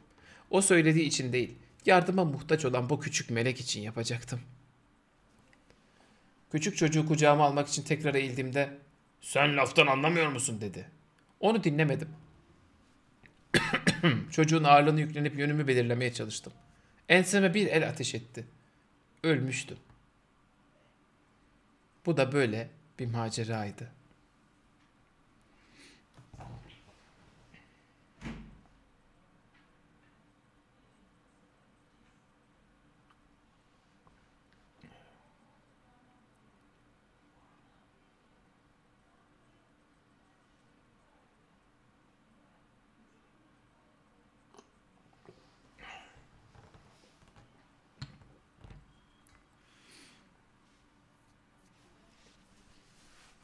Küçük çocuğu kucağıma almak için tekrar eğildiğimde Sen laftan anlamıyor musun dedi. onu dinlemedim. Çocuğun ağırlığını yüklenip yönümü belirlemeye çalıştım. Kızın ateşi çok yüksek suya ihtiyacım var. Banyo nerede? Duygudan eser kalmayan cüsse bir elini kaldırıp bana yolunu gösterdi. Hızlı adımlarla mesafeleri kat ettim. İlk katta olmama rağmen istediğim zaman istediğim şeylere sahip olamadım. Bu malikane çok büyüktü. Soğuk suyun altında beklettiğim çocuğun ateşi düşmeye başladı bile. Teni eskisi kadar sıcak değildi. O nasıl dedi yanımdan tek bir saniye ayrılmayan adam. Onu iyileştirmezsen seni kendi ellerimle öldürürüm. Hiç acımam. Sürekli tehdit ediliyor olmam hoşuma gitmemişti. Onun laf kalabalığına dahil olmadım. Çocuğu suyun altından çekip aldım. Bana onun odasını göster. Üzerini değiştirmem gerek. Sessizce banyodan ayrıldı. Onu takip ettim. Önüne gelen eski kapılardan birini açıp içeri girdi. Aynı şekilde yol aldım. Aa mesafeyi kapatmadı bu sefer yol aldı. O da malikanenin salonuna göre küçük kaldı. Etrafa atılan oyuncakları sayamadım. Odanın yarısı bunlarla doluydu. Küçük bir yatak ve elbise dolabını saymazsak tabii. Çocuğu yatağa bırakıp elbise dolabını açtım. İçinden bir kazak ve bir pijama çıkarıp üzerindeki ıslak kıyafetleri çıkarmaya başladım. Ay kıyafetleri mi soktun çocuğu duşa? Senin bana eczaneden ilaç getirmen gerekecek. Onu bu ellerle iyileştiremem. O bana itiraz etmeden bekledi. Ona ilaçların adını verdim. Sessizce yanımızdan ayrılıp gitti. Küçük çocuğun çehresini sessizce izledim. Çehreyi de öğrenmiş. Yine açmış kütüphaneyi. Yine yazarımızın taklidini yapıyorum size. Kitap yazacağım ama hiç kelime bilmiyorum ya. Sözlüğe bakayım. Fırrrt. Ç, ç, ç, çehre. Çehre. Yüz, suret. Aa, bunu bol bol kullanayım. Küçük çocuğun çehresini sessizce izledim. Akıp giden zamanımı heba etmek yerine yerimden doğrulup odadan ayrıldım. Malikanenin görkemi, merak güdüsü ve üst katı beni kendine doğru çekti adeta. Kit, kitli oda bulacak herhalde ha. Nefsime yenildim. Eski merdivenlerden yukarı doğru çıkmaya başladım. Bu evin her köşesi farklı bir şekilde dekore edilmişti. Birkaç odaya girdikten sonra bakışlarımı tavana diktim. Tamamıyla mozaik işlemeler vardı. Bir şaheser de diyebilirim. Kırmızı ve yeşil tonların savaşını izledim. Ayaklarım bir şeye takılınca düşecek gibi oldum. Sendelesem de yere çakılmadım. Kısa sürede kendimi toparladım. Ne bir haftada filan mı? Yorgun bakışlarımı yere diktiğimde gözlerim kocaman açıldı. Kanlar içinde yatan genç bir adam vardı. Değişen renginden öldüğünü anladım. Yutkunamazken ayaklarım beni geri geri taşıdı. Korkudan dilim tutulmuştu. Çığlık bile atamıyordum. Çocuğu lootlanan çocuktan kesin Hero Soul falan çıkacak. Hastanede çalıştığım günden beri hiç kimsenin ölümüne şahit olmadım. İnsan eti kokuyor buralar. Yoksa bu adam bir katil mi? Hızlı adımlarla aşağıya doğru koştum. Korkumu, endişemi yanıma alıp malikanenin çıkış kapısından dışarıya çıktım. Yol iz bilmeden ormana doğru yol aldım. Nereye gittiğimi bilemesem de çok kötü bir pisliğe bulaştığımı iyi biliyordum. Yağmur tanelerinin harareti sönmüştü. Hararet. Soğuk hava iliklerime işledi diyebilirim. E de bakalım hani yazarsın ya. Hadi sen de bakalım bunu. Sen hadi de bakalım bunu aslan. Diyebiliyorsan de. Yazarsın ya sen. Yazara bak. Size betimleme yapabilirim. Ama yapmamayı tercih ediyorum. Parmak uçlarımı hissedemezken ayaklarım iyice çamura bulandı. Ayağında ayakkabı var mı, bot mu var, topuklu mu var, ne oluyor, neyse. Yaşlı ormanın indine doğru yol almak akıl kârı değildi. İndine mi? İndine mi? İndineyi nereden duydun kızım sen?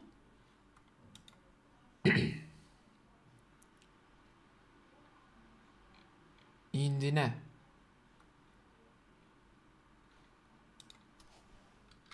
İn,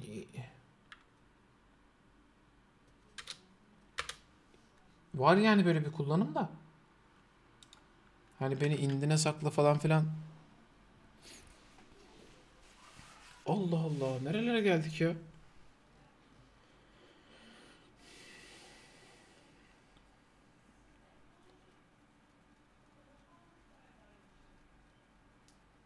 Ay neyse daldım. Ee, yaşlı ormanın indine doğru yol almak akıl kârı değildi. Ölümün kollarına kendi kendime yarattığım cehennemde yanmaya gidiyordum. Hadi bakalım. Kulaklarımı dolduran ayak sesleri iyice hızlanmama neden oldu. O yaklaşıyordu. Zaman kaybetmemek için dönüp arkama bile bakmadım. Tek dileğim buradan bir an önce kurtulmaktı. Adımlarımı sonlandıran gölge beni kolumdan tutup durdurdu. Nefes nefese kalırken dudaklarımdan bir çığlık firar etti. Sakin ol dedi bileğimi kavrayan yabancı. Ay yine bileğini tutmuş kızın. Kızın bileği morardı be oğlum. Sakin ol dedi bileğimi kavrayan yabancı. Titreyen bedenimi görmezden gelip bana bağırdı. Titreyen bedenini görmezden gelmese, görse ne diyecek? Battaniye mi verecek sana? Titreyen bedenini görmezden yani ne yapsın o anda? Sakin ol. Sen titriyorsun. Mu desin. Ne olacak o zaman şey mi diyeceksin içinden? Aa titreyen bedenimi görmezden gelmedi. Düşünceli bir erkek. Onun yavrularını doğurabilirim. Mi diyeceksin? Anlamıyorum ki. Ne oluyor ki?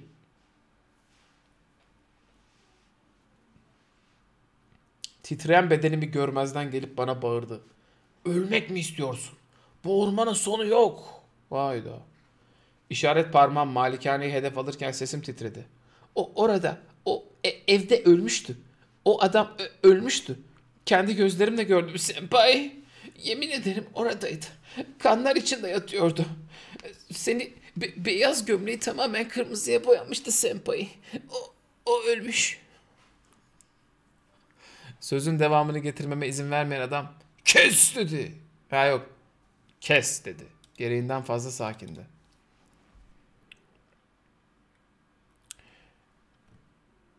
Neydi bizim anime dublajı? Kuruyamasan. Bekle. Keşke Simai Setsuno bizimle beraber olsa da kızı o okusa ya. Burada arkadaşlar muhteşem ses sanatçısı Simai Setsuno'yu taklit etmeye çalışıyorum. Erkekte de Simai Setsuno'nun konuk aldığı çocuğu taklit etmeye çalışıyorum. Bakınız. Ben şöyle okuyabiliyorum bunu. O orada o e- evde ölmüştü senpai. O adam ö- ölmüştü. Kendi gözlerimle gördüm. Y- yemin ederim oradaydı senpai. Kanlar içinde yatıyordu. Be- beyaz gömleği tamamen kırmızıya boyanmıştı. O ölmüş. Tamam. Şimdi bu taklidimin yapmaya çalıştığım bu karakterin güzelini yapmış olan şu hanımefendiyi de size tanıtmak istiyorum.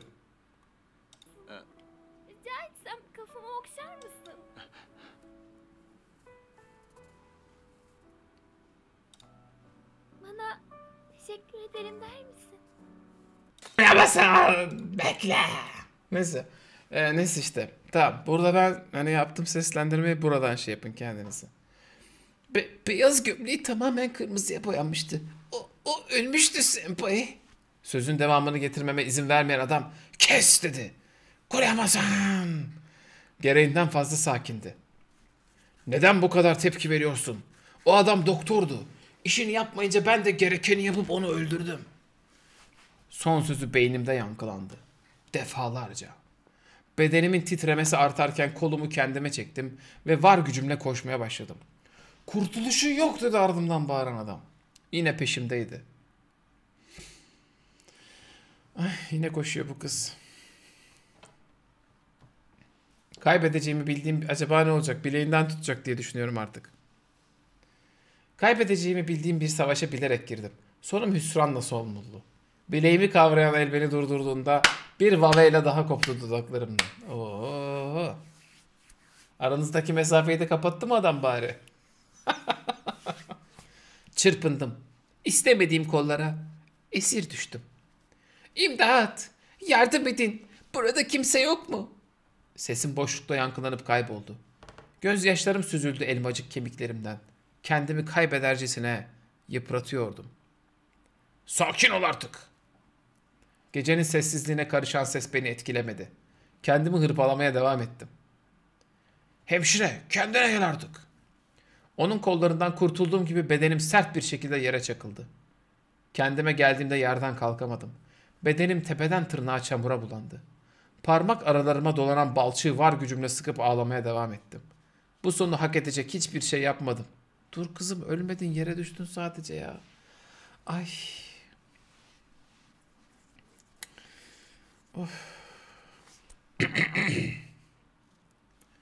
Acıyan etime umursamadım. Onun bana uzattığı eli tutmak yerine red edip ittim. Kendi çabamla yerden kalkmak istediğimde aynı şiddette tekrar yere çakıldım. Tamamıyla soğuk çamura uzandım. Bulutlardan süzülen damlalar varla yok gibiydi. Hay hay bulutunun yağmurunun ama. Üç bölümdür, beş bölümdür de ne yağmur yağdı be. Başka da bir edebiyat bilmiyorsunuz ki. Yağmurda yağmur, yağmurda yağmur, yağmurda yağmur, yağmurda yağmur. Bu yağmur yağmasaymış dünyada edebiyat olmayacakmış herhalde ya. Hay arkadaş 3 bölümdür 5 böldür ha yağmurda yağdı ha damlalar yağdı yeter be. Yeter ulan yeter yeter yemin ediyorum ben sıkıldım tükendim şu an. Hay yağmurunuzu game ya. Hay arkadaş be ne yağmurmuş be. Ne yağmurmuş arkadaş be. Öf. Ne yazacaktınız ya bu yağmur olmasa? Suudi Arabistan'daki neyin edebiyatını yapıyor be? Ay.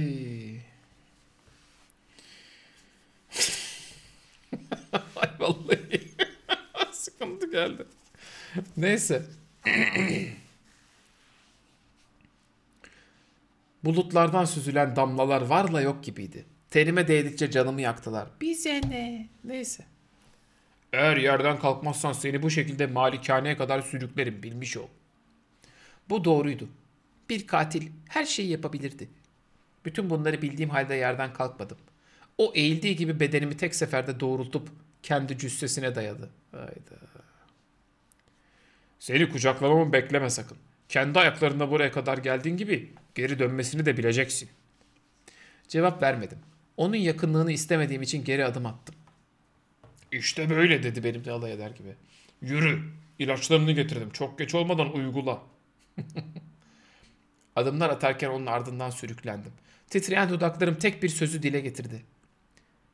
İki kelime bu arada. Ya sonra? Dedim bitmiş tükenmiş bir sesle. O cevap vermedi. Çünkü bir sonum yok. Benimle işi bittiğinde öleceğim. Bundan adım gibi eminim. Ya kızım neden öldürsün adam seni ya? Malikanenin ka- kasvetli havasını tekrar ciğerlerime çektiğimde ardımdaki kapı sertçe kapatıldı. Çevreden her bir anahtar sesi beynimde yankılanıp beni öldürdü. ya senin dramanı. O beni ardında bırakıp giderken gel dedi. Küçük çocuğun odasına doğru adımlar attı. Sessizce izlerini takip ettim. Günahı boynuma dolanan çocuğa ilaçlarını verdim. Ateşi iyice düşmüştü. Korkmanın bir anlamı yoktu artık. Yanından geçip giden adam benimle aynı hizaya geldiğinde yüzüme baktı.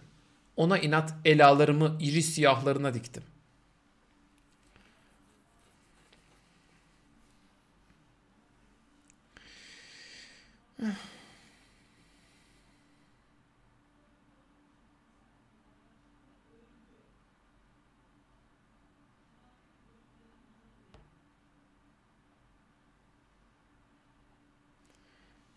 Sana bu gece uyku yok. Sabaha kadar çocuğun başında bekleyeceksin. Ona bir şey olursa seni öldürürüm. Eh anladık seni de be. Tepki vermedim. Ezdiği dudaklarından öfkesini alamadı. Bileğimi kavrayıp sıktı. Bana cevap verilmemesinden hiç hoşlanmam. evet, bunu bildiğim için dudaklarımı aralamadım. Bedenim acımasızca savrulurken Onun parmakları arasında küçük çocuğun başucuna getirildim. Çek ellerini üstümden. Sıkılan bileğimin acısı beni inceltmek üzereydi. Ee yani 25. falan oldu artık kan oturmuştur oraya. İstediğim cevap bu değildi. Tamam dediğimde bağırdım. Onun istediği oldu. Avuçlarını bileğimden çekince etimi avuşturdum. Eh yani.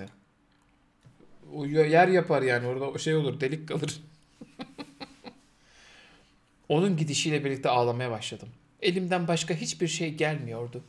Tanımadığım bir adam tarafından gecenin bir yarısı zorla alıkoyulmuştum. Çok bitkindim. Islanmış olan gömleğimle ve çamura bulanan pantolonumu aldırmadan küçük çocuğun yanına uzandım. Çocuğu bir de dizanteri veyahut da başka bakteriyel enfeksiyonlara sürüklüyordum. Ama umurumda değildi. Aptaldım. Önemli olan da bu değil miydi? Aptal olmam değil miydi? Ellerimi başımın altına yerleştirdiğimde dizlerimi karnıma doğru çektim. Jenny pozisyonunda olduğum için Jenny nedir onu da bilmiyorum. Jenny. Jenny pozisyonunda olduğum için onun masum yüzünü inceledim. Kim bilir bu çocuğa ne yapacaklar? Bir organ mafyasının eline düşmüş gibi hissediyorum. Ha kanka aynen. Organ mafyası bronşit tedavi ediyor. Aynen. Aa, aptal bu.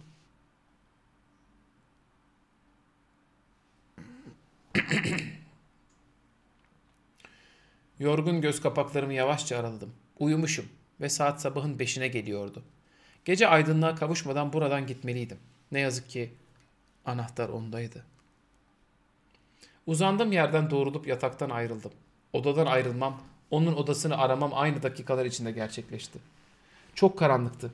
Odalara tek tek baktım. O hiçbirinde yoktu. Eski merdivenlerin ilk basamağına adım attığımda durdum. Bugün ne gördüğümü çok iyi biliyorum. O ceset hala orada mı acaba?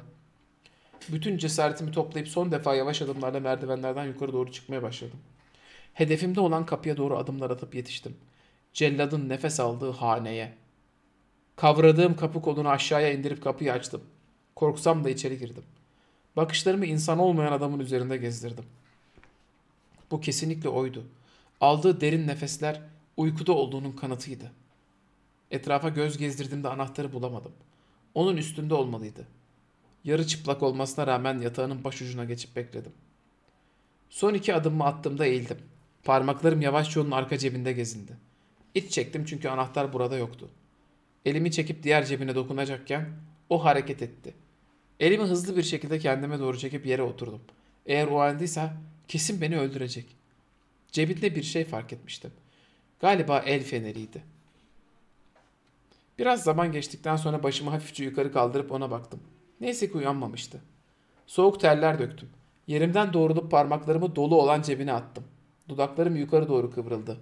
Anahtar parmak uçlarımın altında ezildi. Ona his... Bu arada yani insan olmayan dediği adam da siyahi diye de hoş değil ha. Ona hissettirmeden iki parmağımın arasına alıp kendime doğru çektim. Of. İnşallah anahtarlarıdır.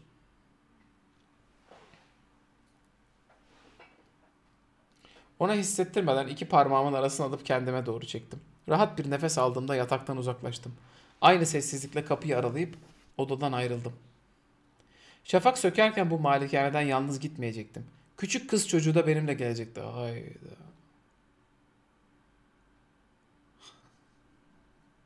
Ay bu kız mal. Çıkış kapısına anahtarları yerleştirdiğim gibi çevirdim. Kulaklarımı dolduran ses şimdiye kadar hiç hoşuma gitmemişti. Anahtarı üzerine bırakıp odaya geri döndüm. Küçük çocuğu kucağıma alıp yürüdüm. Koşarcasına adımlar attım. Bir an önce tozu dumana katmak istedim. Şafağın renklerine karıştım. Yeniden doğmuş gibi hissediyordum. Ay. Yeniden doğmuş gibi hissediyordum. Güneş tekrar doğudan yükseldiğinde ben evimde olacağım. Babamın sıcacık kanatlarına sığınacağım. Hmm, aptal. Malikaneden biraz uzaklaşmıştım. Karanlık tonlar renkleri aydınlıkta yitirirken yürümeye devam ettim. Korkularım bacaklarımı titretirken başımı çevirip sürekli arkama bakındım. Endişem yüzümden okunurken durdum. Öfke, heyecan aynı anda kalbime sirayet etti. Bedenim tir tir titremeye başladı. Çünkü o tam karşımda duruyordu ve elinde bir silah vardı. Geriye doğru birkaç adım attığımda ardında duran yaşlı adama işaret verdi. Çocuğu kastettiklerini anladığımda sessiz kaldım. Yaşlı adam yanıma gelip çocuğu kucağımdan aldı. Malikanenin yolunu tuttuğunda beni onunla yalnız bıraktı. Acımasız adam bana doğru adımlar atmaya başladı. Yüzündeki sert ifade kaybolurken alaylı bir dille konuştu. Hemşire hanım sen gizlice odama gireceksin. Arka cebimdeki anahtarı alıp kaçacaktın öyle mi? Ve ben de bütün bunlara göz yumup sessiz kalacaktım. Ay Türkçen de çok kötü. Sessizliğimi korurken o ayağını sertçe küçük bir taşa vurup fırlattı. Niye? Deli mi herif? Doğrusunu söylemek gerekirse çok cesursun. Hiç kimse odama girmeye cesaret edemez. Bana yetiştiğinde etrafında daireler çizmeye başladı. Plin plin plon. Plin plin plin plin plon. Kesin merak ediyorsundur sana anahtarı neden verdiğimi. Mi'yi ayrı yazmış. Ay. Bir elini kaldırdığında dudaklarında sinsi bir kıvrılma meydana geldi.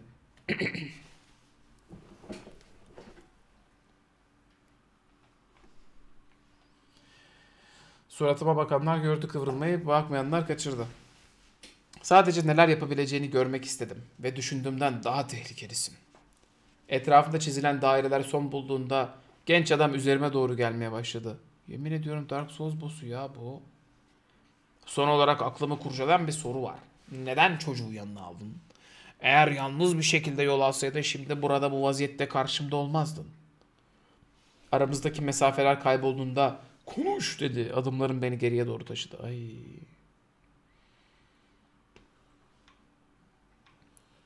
Çocuğu satacağını düşündüm. Onun için yanıma aldım. Hem ben bir... Aptalım o yüzden diyor yani. Hem ben bir hemşireyim. Her koşulda insanların hayatını kurtarmak benim görevim. Beklemediğim bir anda sırtım ağaca yaslandı. Çırpınmadım. Çünkü kaçacak bir yerimin olmadığını biliyordum artık. Güzel hatunsun dedi. Haydi. Dedi bakışlarını üzerimde gezindi. gezindi. Son defa şansımı denemek istediğimde boynuma sarılan ince parmaklar beni sertçe tekrar ağacın kalın gövdesine dayadı. Tenime sarılı olan soğuk ve kanlı eller kendimden tiksinmeme neden oldu. Onun baş parmağını çene altımda gezinirken dua et dedi. Sesi otoriterdi yine. Dua et ki kadınsın. Yoksa bu masum yüzünü dövmekten parçalardım. Sessizce can acımı gidermek için o pozitif ayrımcılık ya bu. Puh lanet olsun. Sessizce can adım Sessizce can acımı gidermek için elimi yumruk yapıp olabildiğince sıkmaya başladım. Heyecanımı ele vermemek için çaba sarf ettim. Terliyordum.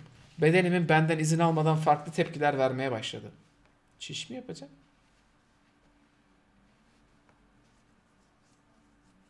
Çiş mi kaçırıyor anlamadım. Heyecanımı ele vermemek için çaba sarf ettim. Terliyordum. Bedenim benden izin almadan farklı tepkiler vermeye başladı. Ya çiş yapıyor ya da sertleşti. Çenem biraz daha yukarı kalktığında onun baş parmağı etime baskı uyguladı. Ve sonra bu güzel boynunu kırardım. Ama ne yazık ki kadınlara karşı daha merhametliyim.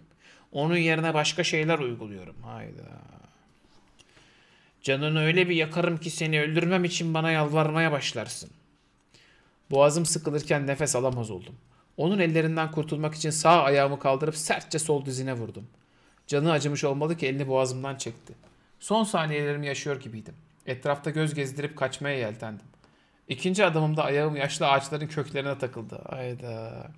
Sürekli aynı şey oluyor kitapta ya. Ve sertçe yüzüstü yere çakıldım. Ağrıyan çenem beni inletirken gözlerimden birkaç damla yaş düzüldü. Çabaladım. Tekrar tekrar hür olmak için.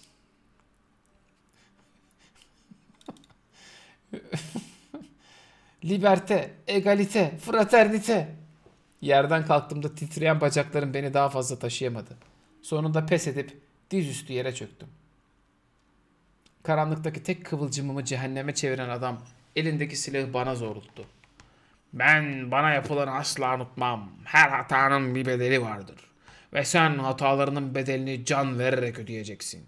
Son olarak o küçük kız çocuğu damarlarında benim kanımı taşıyor. Huzur içinde ölebilirsin hemşire. Son sözler söylendi. Benim oyunum başlamadan son buldu. Elimden ağlamaktan başka bir şey gelmedi. Kendim için yaptığım tek şey derin bir nefes almak oldu. Yağmur sonrası toprak kokusu benimdi artık. Gözlerimi kapatıp karanlığa teslim oldum. Celladımın ölüm cezasına razı oldum. Beni öldürmesini beklerken rakamları geriye doğru sayıp tükettim. 10, 9, 8, 7, 6, 5, 4, 3, 2 ve 1. Sonunda bir el silah patladı. Acaba ne oldu? Acaba ne olacak?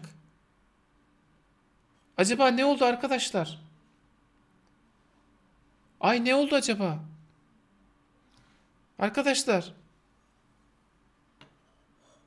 Arkadaşlar ne oldu?